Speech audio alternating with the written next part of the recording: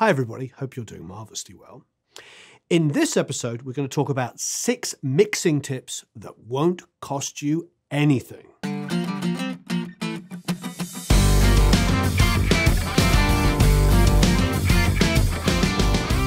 So, on this channel, of course, we love reviewing equipment. We love talking about microphones, mic pre's, compressors, plugins, and all kinds of other incredible stuff. However, we all know the most important thing is your skill, the way you hear things, the way you interpret it. And with any DAW, whatever DAW you use, they come with compressors and EQs and delays and reverbs and even multi-bands and all kinds of fun things. And really, your skill set is what is going to set you apart. Yes, there's better compressors and EQs and delays, you know, made by all these great companies. Of course there is. But in the wrong hands, they're absolutely meaningless. So let us focus in on the free things, the hugely important free things that you can do to make your mixes better. Listen to music that you love in your working environment. This is so important. If you walk into a studio that you've never been to, or somebody's home setup, or somebody hands you a pair of headphones to try for the first time, what do you do? You put on some music that you love, something you've heard thousands of times before, to see how they sound. It might sound so obvious, but do that in your own studio environment. It's such an obvious thing that people do not do that I have not done. If you have grown up listening to whatever song it is, whatever artist it is, listen to it in your environment, whether it be the speakers that you use or the headphones or the car stereo. Get used to how the music you love sounds in the environments that you live and work in. That's going to be absolutely massive to you because otherwise, how will you know how your music sounds?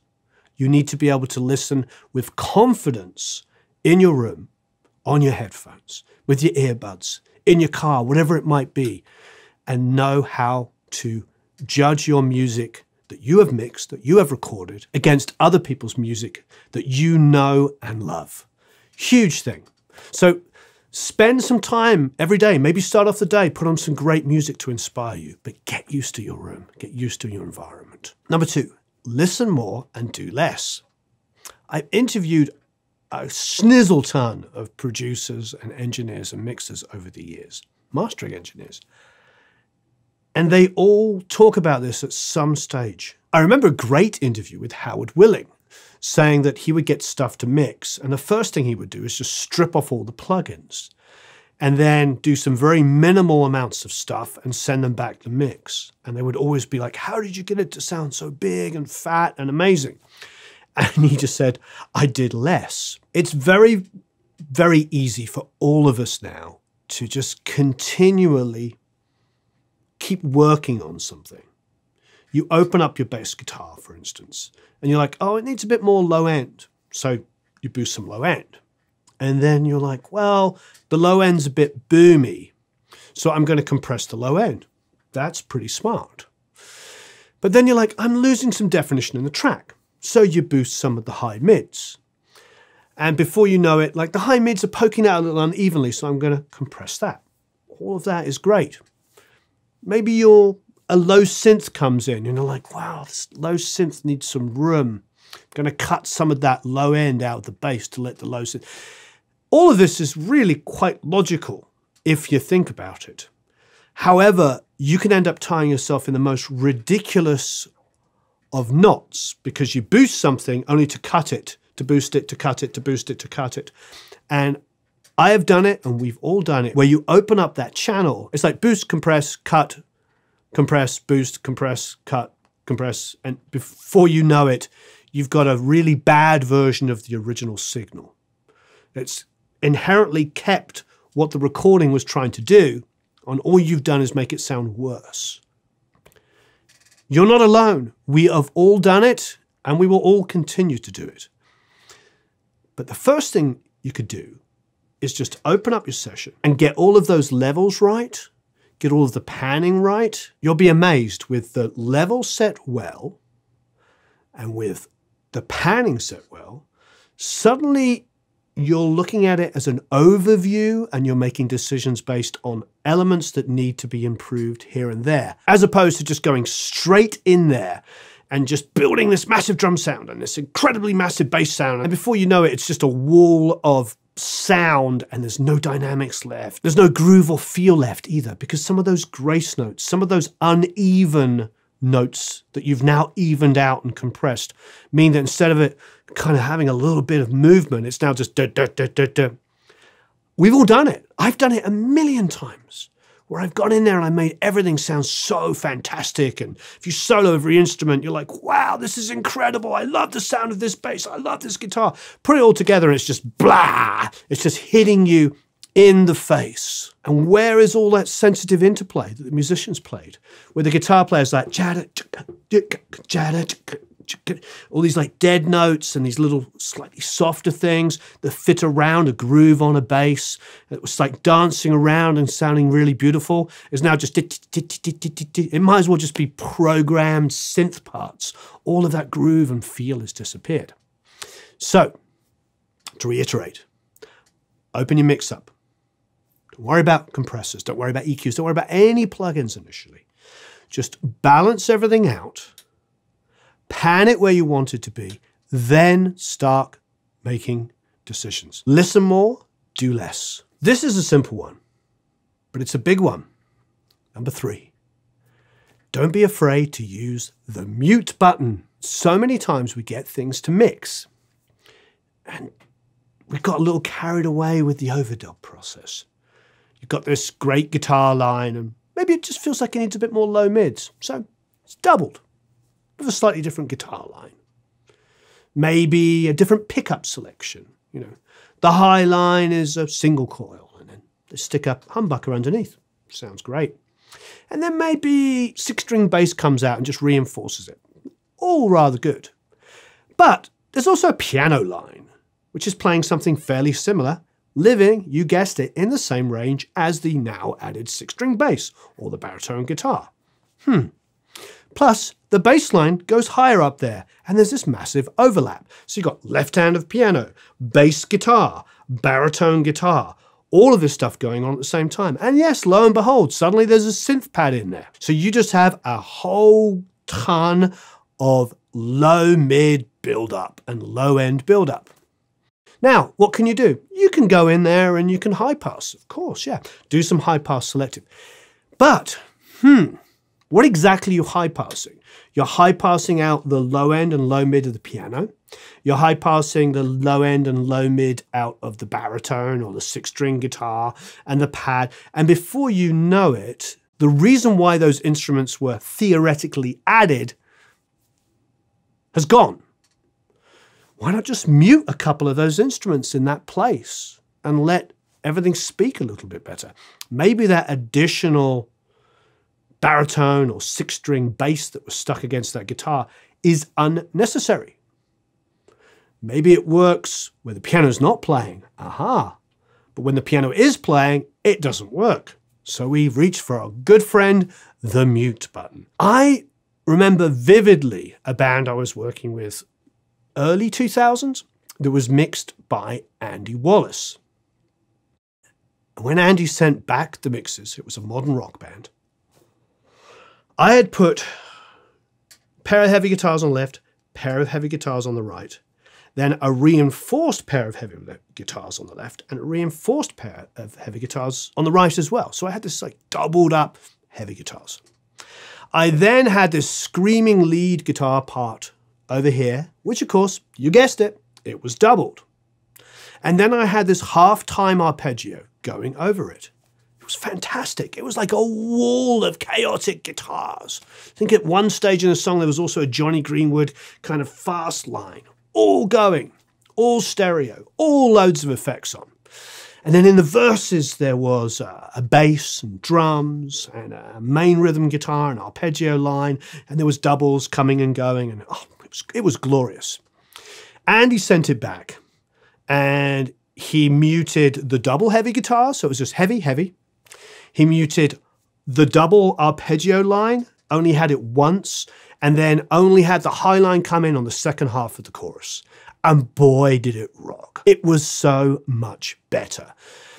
Same thing in the verse bass, drums, one guitar, second guitar came in on a pre chorus. It was like bringing it down, and suddenly everything got bigger.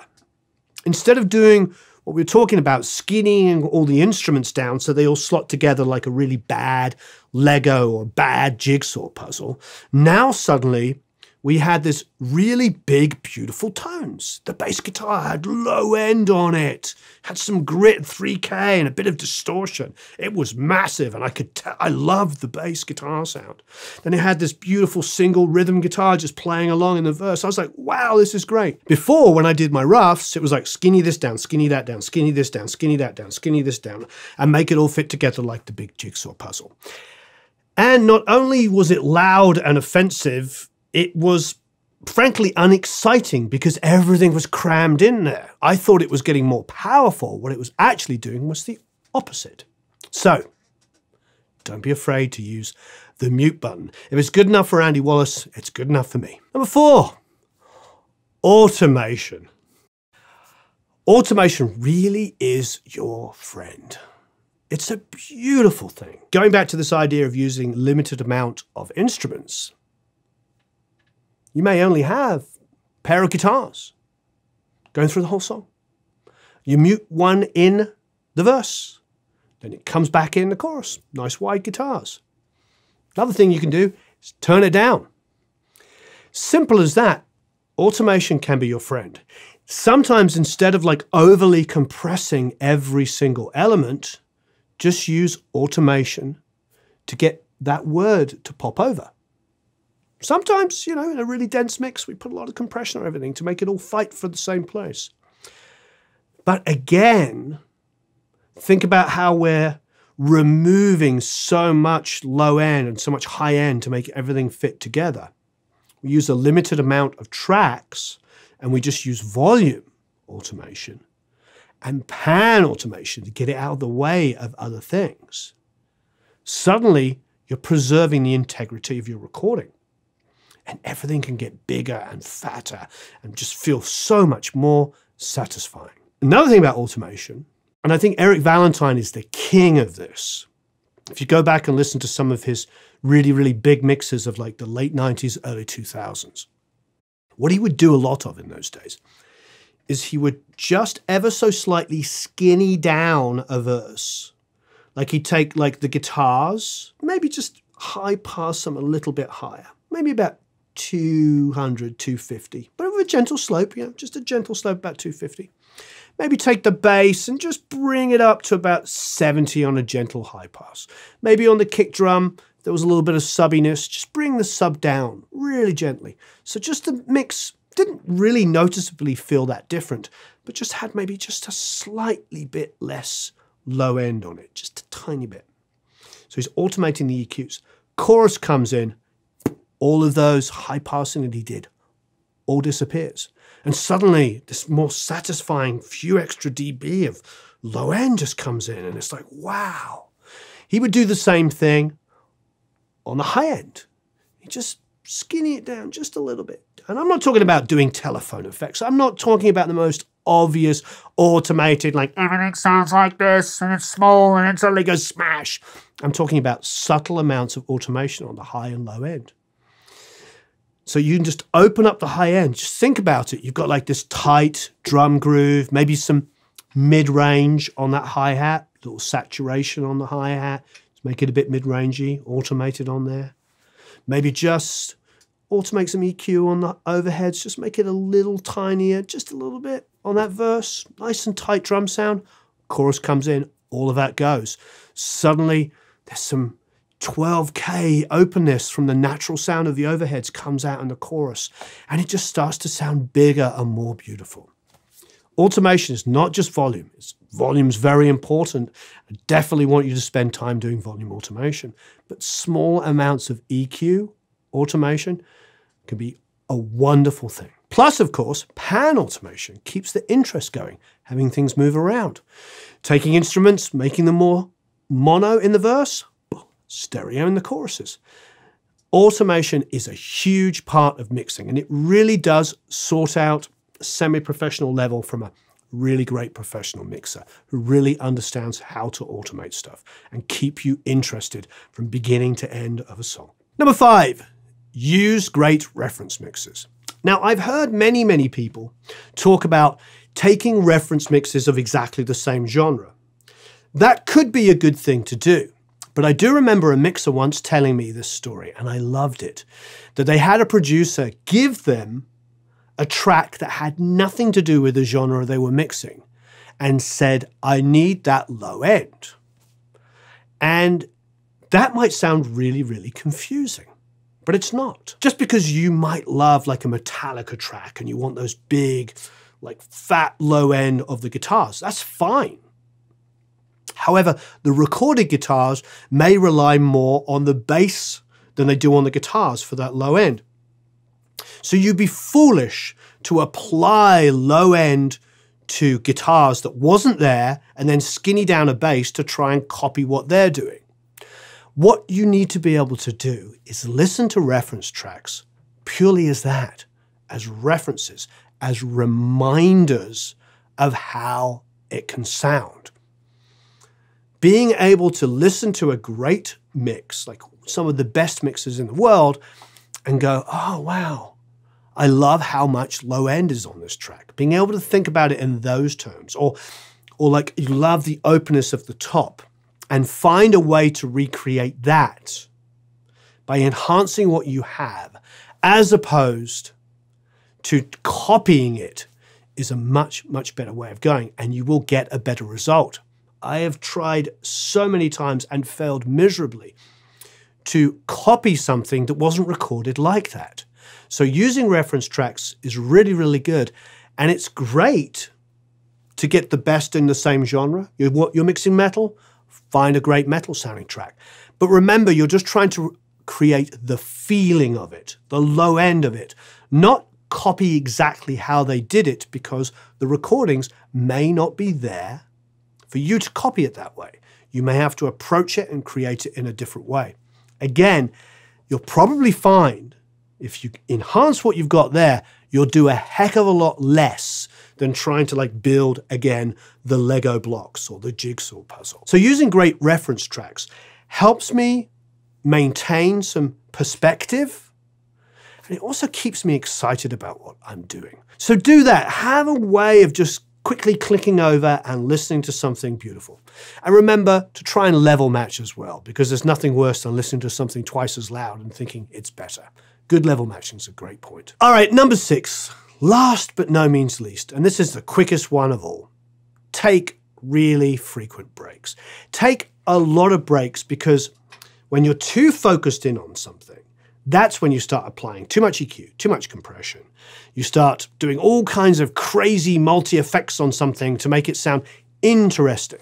The reason why you want to make it sound more interesting is because you've got bored of it because you've been obsessing about one sound for an hour. So you need to take frequent breaks. And just as importantly, not only taking frequent breaks, but remembering to put something down. Like your last thing you want to do is send your mix off at the end of the night to the artist without hearing it with fresh ears the next day because you've been obsessing about that mix all day. And you think you've got it and you send it off. And then you wake up in the morning to a hailstorm from the artist going, What the heck were you thinking on that mix? And of course, you open it up and it's the brightest, loudest thing you've ever done in your life. And you've destroyed all the integrity of the performances because, you know, you've been doing all of these like extra compressions and EQs and saturations, and you've got so carried away that you've lost the original integrity of what was recorded. So take frequent breaks and please give yourself a break to come back to it with fresh ears. A night of good sleep will give you lots of time for your ears to recover and come in in the morning at a much lower level and listen to it and really know that you've got something great. So that was a lot of fun. Most of these are fairly obvious, but you'd be surprised. You know, I'm guilty of all of these things myself. I have, over my career of the last X number of years, mixed a lot of great music. And some of it I go back to and listen to. and I absolutely love. And some of it I go back to and I enjoy it to a point. What I have found, especially over the last year or two, is the stuff I'm loving was the stuff I recorded better and mixed less. And I know that everything out here is all about mix, mix, mix, mix, mix. I mean, there's whole businesses with the name mix in them. It's all about the mixing. And this idea that everything is rescued in mixing. It's just a bunch of baloney. We've talked about this many times before. All of the great, great records, the ones that we name check as being the greatest records of all time, barely had another mixer on them. And then the handful that do make it into that level were mixed by just a handful of incredible mixers.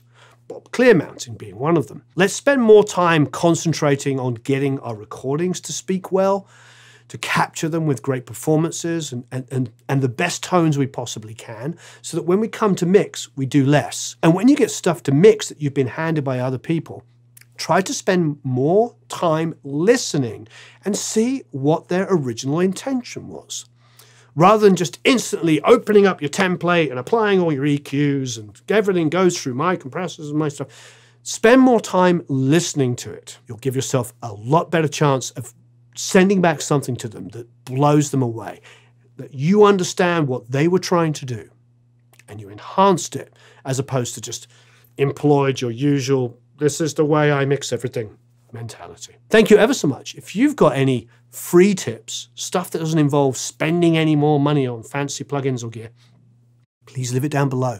Thank you ever so much for watching. It's always marvelous to have you here. Thank you, all of you incredible people, for creating such a wonderfully supportive community. And we'll see you again very, very soon.